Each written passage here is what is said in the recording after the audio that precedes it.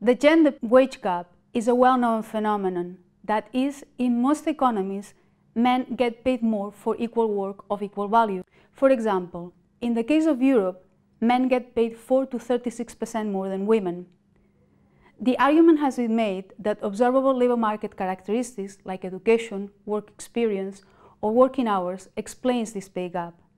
However, even if we take these characteristics into account, the report shows that a substantial portion of the wage gap remains unexplained. In the chart, we showed the extent to which the gender pay gap is explained or not by labor market characteristics.